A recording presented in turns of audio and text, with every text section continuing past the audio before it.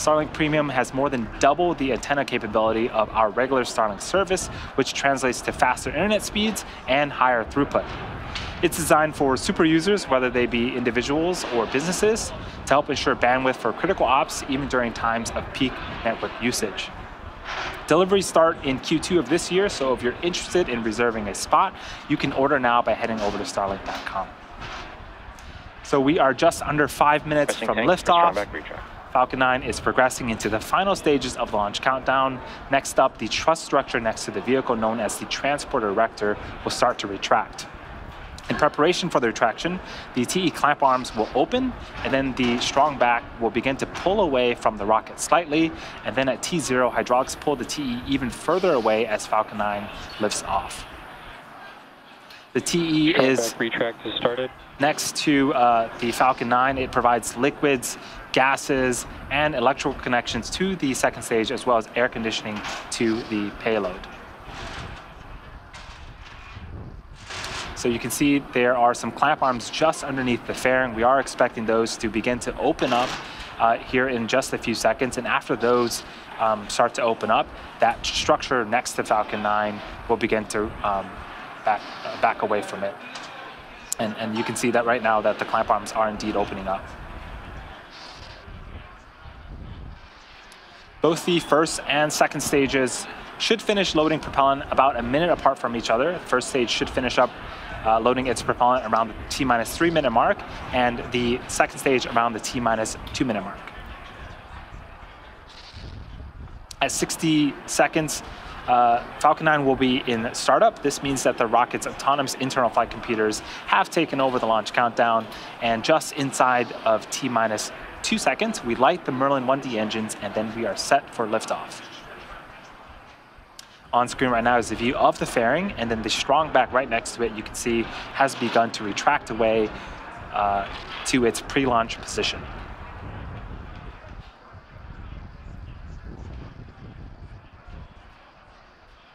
Stage one LOX load is complete. There was the call out for stage one LOX load complete. In about a minute, we should hear the call out for stage two LOX load complete. The Starlink payload continues to be healthy and the Falcon 9 team is tracking no issues on the rocket. So just over two and a half minutes until liftoff. If you're just joining us, this is the sixth, the sixth mission for us this year and the third Starlink mission for us this year.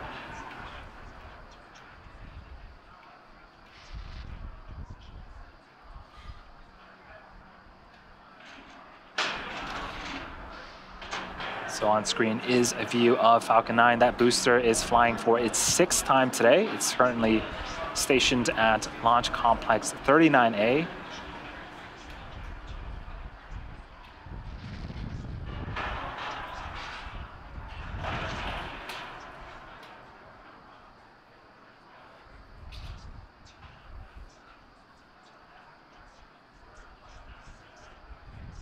Stage two LOX load is complete. And with that call out, we have wrapped up propellant loading not just on the second stage, but for the vehicle overall. Uh, you can start to see some white clouds building up around Falcon 9. This is normal and expected for us at this stage in the countdown. That is that super chilled liquid oxygen that we talked about earlier. When it Gas closeouts reaches started. the warmer ambient air temperatures of Florida, those clouds start to form.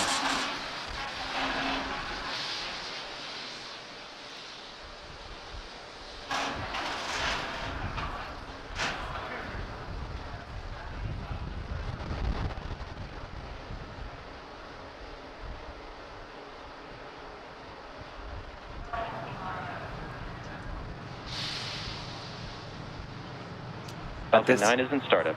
At this point, both stages are beginning to pressurize for liftoff, and we are expecting the launch director to give the final go for launch here in just a few seconds. Launch director, go for launch.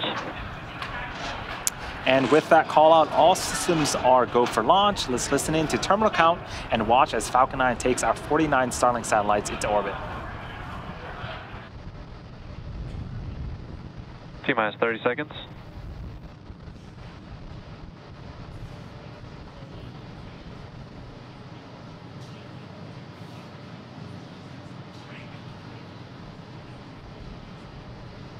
Minus 15. T minus 10, 9, 8, 7, 6, 5, 4, 3, 2, 1. Lift off, Starlink 47.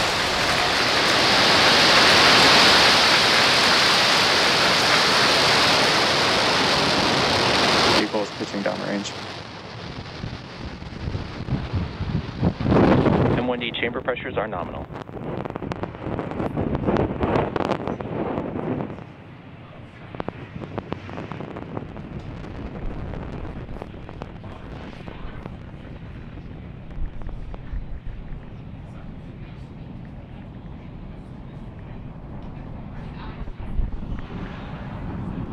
We are T plus 40 seconds into liftoff. Falcon 9 has successfully cleared pad 39A and carrying Power our stack of elbow. 49 Starlink satellites into orbit.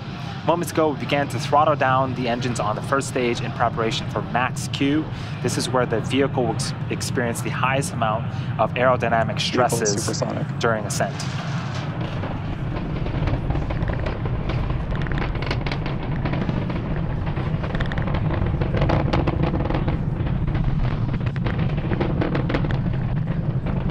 Max Q.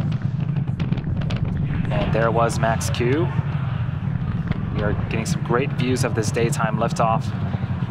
In about a minute, we have three events happening in quick succession. First up is main engine cutoff, also known as MECO, followed by stage separation, and then second engine start one, also known as SES1. During main engine cutoff, uh, this is where all nine Merlin engines on the first stage will shut down in order to slow the vehicle down in preparation for stage separation. MVAC engine chill has started. During stage separation, the first and second stages will separate from one another. The first stage will make its way back to our drone ship in the Atlantic Ocean for its landing attempt. And the second stage will continue with the third event, which is second engine start one.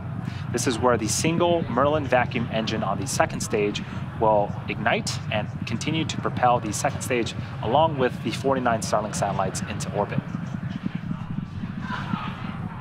Those three events should be happening uh, here in about 20 seconds.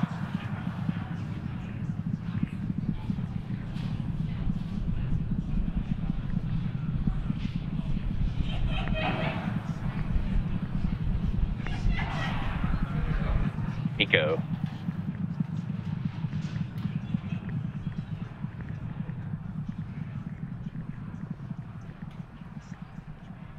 Stage separation confirmed.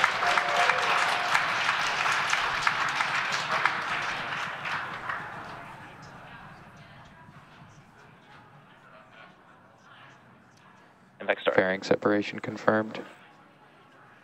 So we've had successful main engine cutoff, successful stage separation, successful second engine start on the second stage, and then also fairing deploy.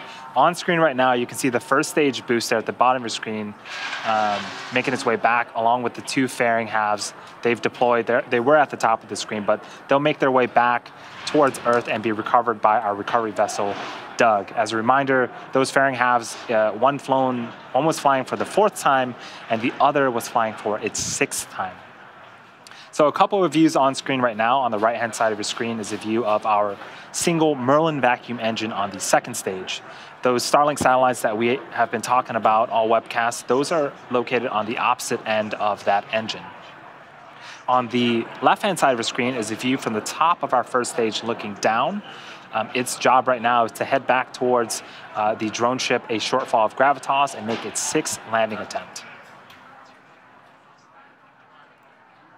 In order to make its way back, the first stage has two burns today. Both vehicles are on nominal trajectories. The first is the entry burn, where three of the Merlin engines will reignite, and this helps to slow the stage down as it re-enters the upper parts of the Earth's atmosphere.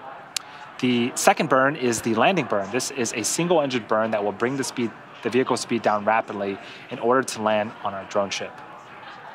The first burn is expected to start around the T plus 6 minute and 47 second mark, and the second burn is going to be starting at the T plus 8 minute and 26 second.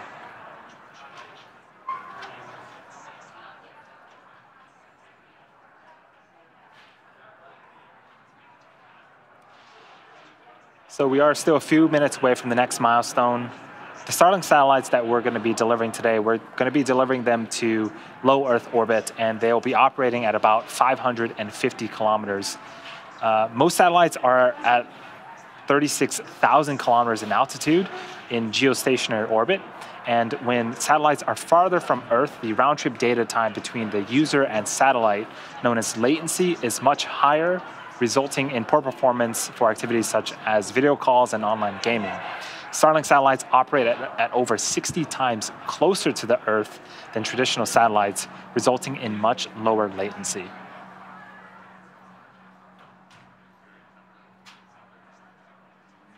It's continuing to go well for both stages. On the left-hand side of the screen, we see some action. Uh, those puffs of gas, that is nitrogen from our attitude control system. That, in conjunction with the grid fins that you see on, on screen, uh, those help to steer and orient the first stage as it makes its way back to its targeted landing zone.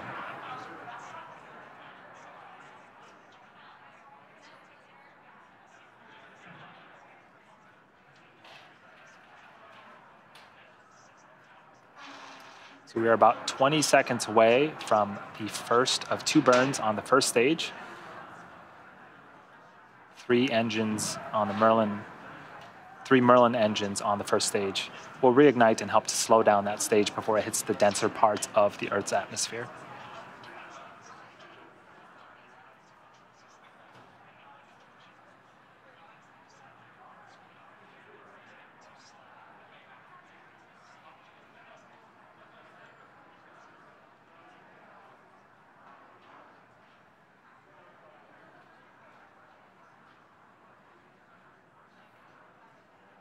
Stage 1 FTS is safed. Stage 1 entry burn startup. And there are those three engines that have reignited. This burn is expected to last for about 20 seconds.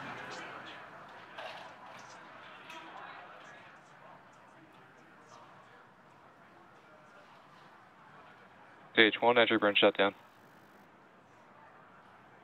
Awesome. That is one of two burns successfully completed. Stage 2 FTS is safed. In about a minute, we have a couple events happening in rapid succession. So we'll have the landing burn start on the first stage, and then as Both that is ending, and as our first stage is going to be uh, attempting its sixth landing on our drone ship, we are expecting second engine cutoff on the engine that you see on the right-hand side of your screen, followed by uh, the call out for successful um, orbital insertion. And as a reminder, because we won't have ground station coverage during the time that the Starlink satellites separate uh, today, we will be ending our webcast Stage one, after we confirm orbit of the second stage, and then we'll confirm deployment on our social media platforms.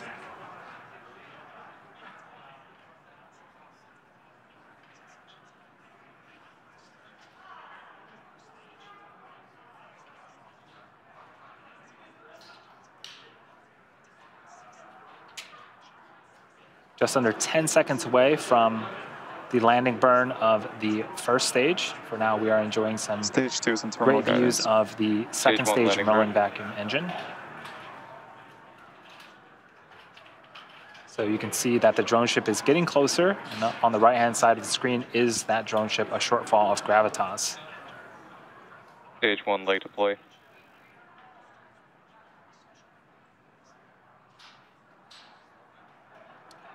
Does look like the video cut out for a little bit. And hearing some cheers here in Hawthorne. And there's visual confirmation that the first stage has landed for the sixth time. And this marks our 106th overall successful recovery of an orbital class rocket. Uh, that includes both Falcon 9 and Heavy first stage landings. Good orbit insertion. Uh, so during that time, we also got successful second engine cutoff of the second stage, and you just heard the call out for good orbital insertion. And as previously mentioned, although payload deploy is scheduled to occur around the T plus 15 minute mark, we won't have ground station coverage to confirm successful deployment until about T plus one hour and 20 minutes. For those of you that are interested, we'll keep the audio only countdown nets up on our YouTube channel, and then we'll confirm successful payload deployment on our social channels. But that is going to be bringing our webcast to a close today. Thank you to the Range and Federal Aviation Administration for supporting today's mission. And of course, thank you to all of our viewers and all of our Starlink customers using our service at this time. Thanks for joining us for our third and final launch of this week, and we will see you again soon.